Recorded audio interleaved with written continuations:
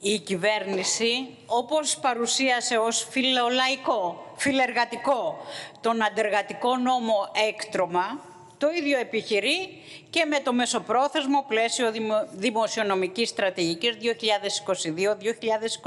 2022-2025 το οποίο προβλέπει αντιδραστικές αναδιαρθρώσεις σε βάρος της εργατικής τάξης και των λαϊκών στρωμάτων.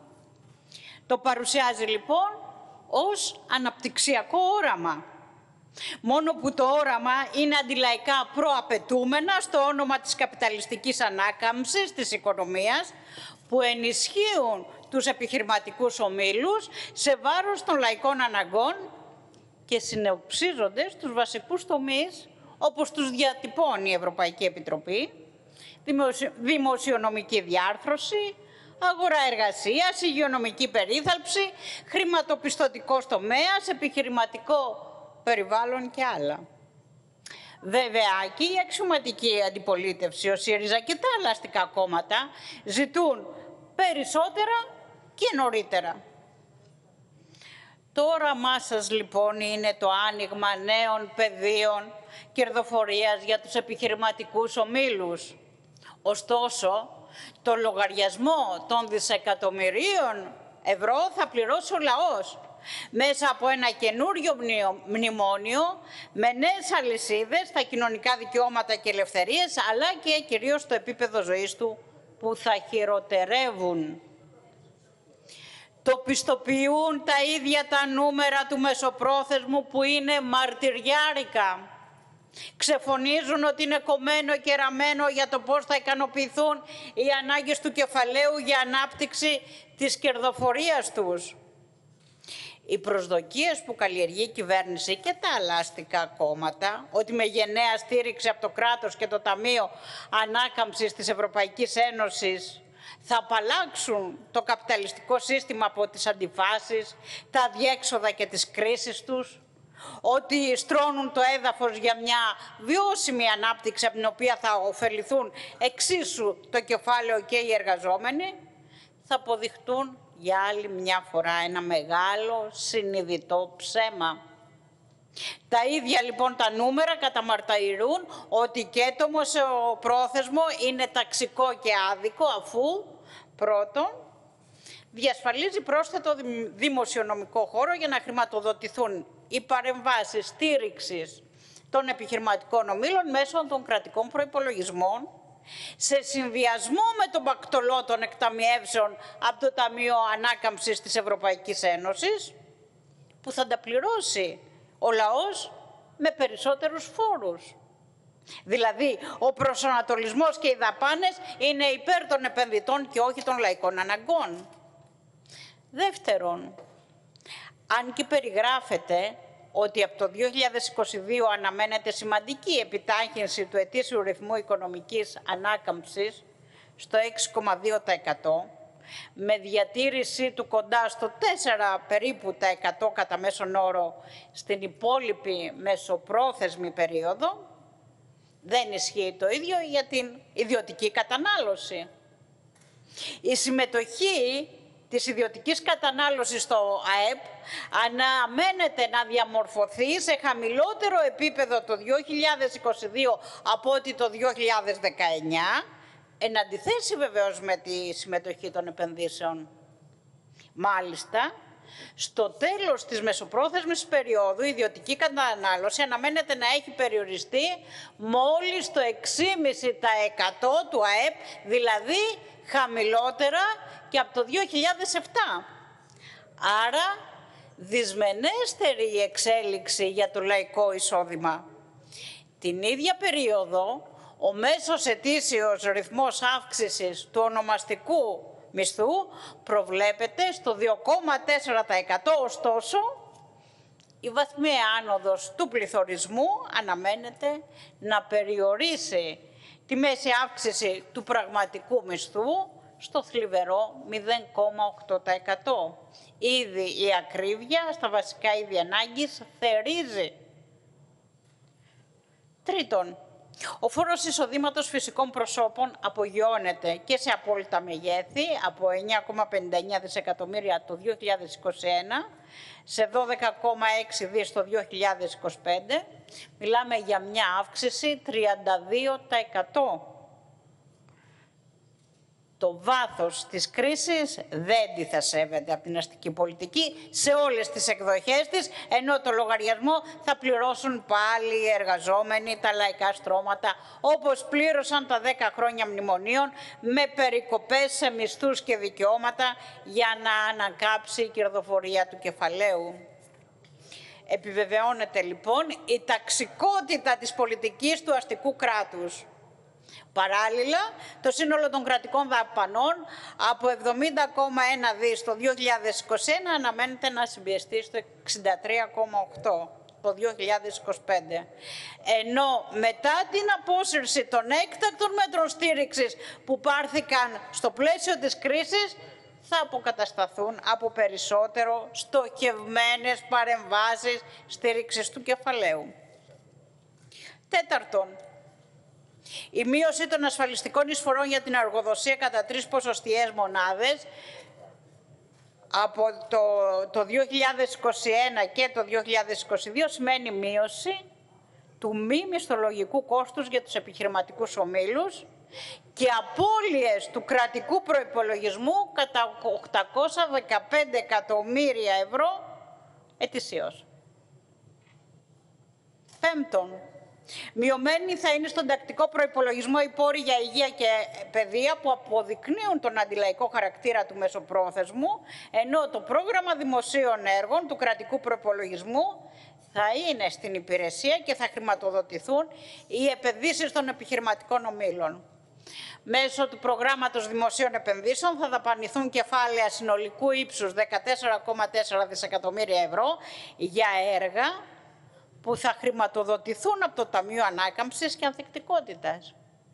Δηλαδή, συνολικά σε ορίζοντα τετραετίας και μόνο από το σκέλος του προγράμματος δημοσίων έργων θα αποδοθούν στους επιχειρηματικούς ομίλους ποσά 42,5 δισεκατομμύρια ευρώ. Χρήμα με τη σέσουλα.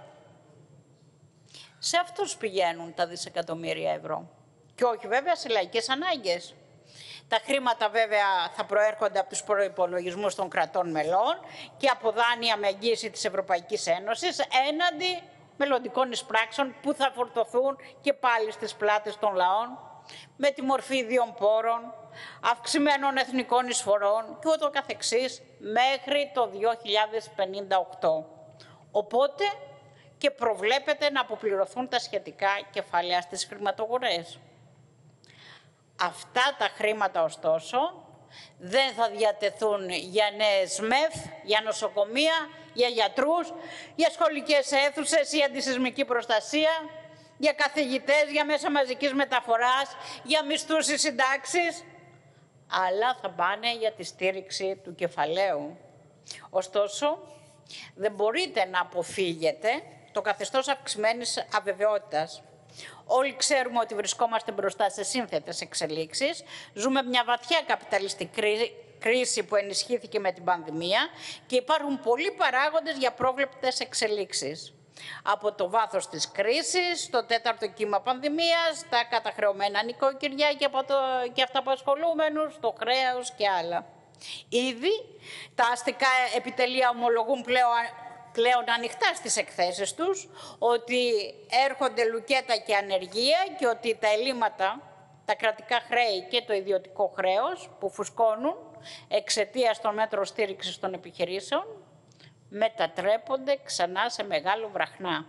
Προετοιμάζοντας τους εργαζόμενους, τους χιλιάδες αυτοαποσχολούμενους της πόλης και του χωριού, ότι έρχεται σοκ στην κυριολεξία και ότι θα πληρώσουν μέχρι τέλους τις κρατικές και άλλες ενισχύσεις που δόθηκαν στο κεφάλαιο.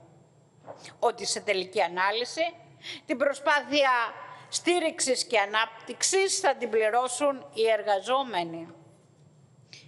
Η διαχείριση λοιπόν της νέας καπιταλιστικής οικονομικής κρίσης από την Ευρωπαϊκή Ένωση και τις αστικές κυβερνήσεις γίνεται σε βάρος του λαού και σε όφελος της υποβοήθησης της καπιταλιστικής κερδοφορίας. εξάλλου και στη Γενική Συνέλευση του Συνδέσμου Ελλήνων Βιομηχάνων, ο πρόεδρος του ΣΥΡΙΖΑ εγκομίαζε τους πόρους του Ταμείου Ανάκαμψης με τα σκληρά αντιλαϊκά προαπαιτούμενα, αλλά και τα άλλα χρηματοδοτούμενα εργαλεία όπως ΕΣΠΑ, Αναπτυξιακή Τράπεζα, την παρέμβαση στο τραπεζικό σύστημα για την ενίσχυση της ρευστότητας των επιχειρήσεων και άλλα. Δηλαδή, τη στήριξη της ανάκαμψης του κεφαλαίου.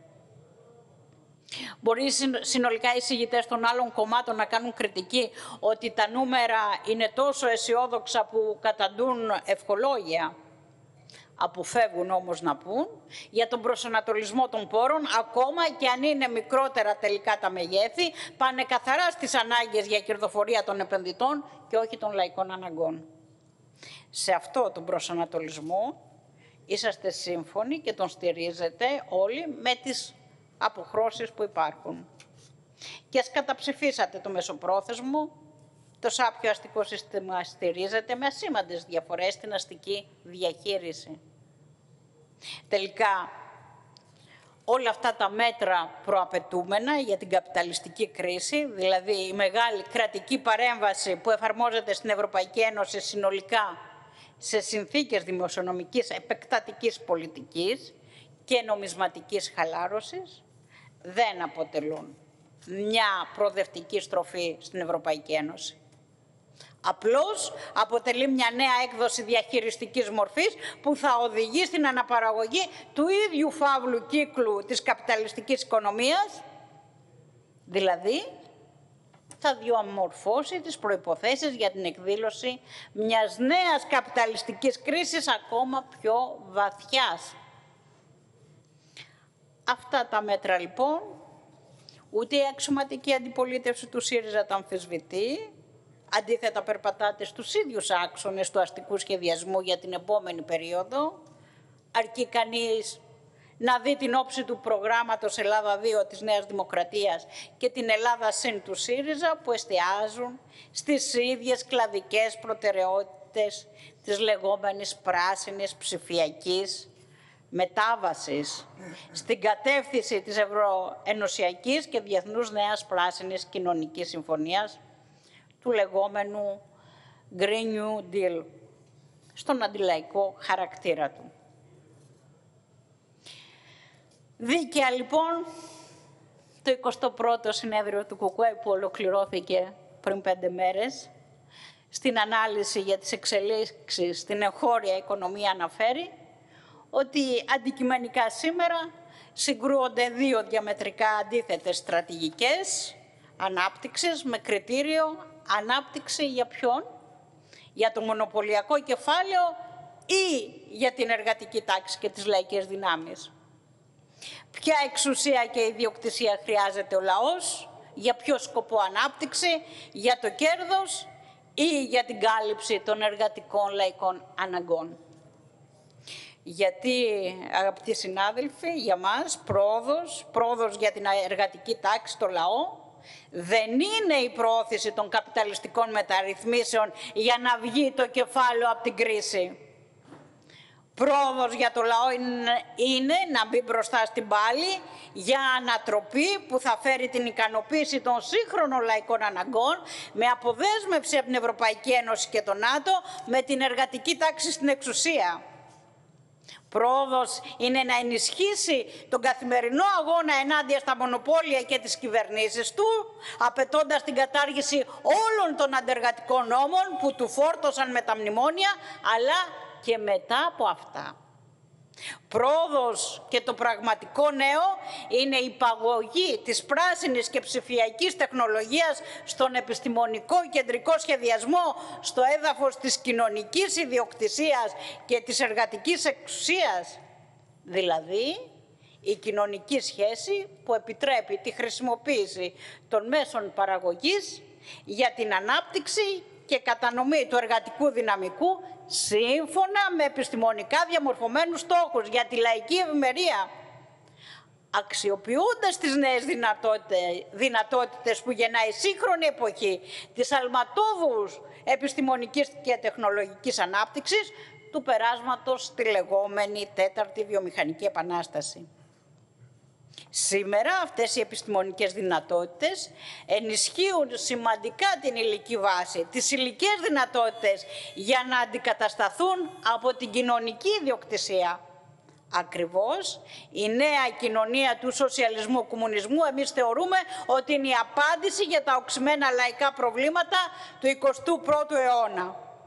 Η εργατική τάξη, τα λαϊκά στρώματα έχουν συμφέρον να δυναμώσουν την πάλη και για τις δικές τους σύγχρονες ανάγκες. Εξάλλου, αυτοί παράγουν τον πλούτο και πρέπει να το γεύονται και όχι να καταδικάζονται σε φτώχεια, ανασφάλεια και αβεβαιότητα. Καταψηφίζουμε λοιπόν το μεσοπρόθεσμο γιατί είναι σε βάρος του λαού.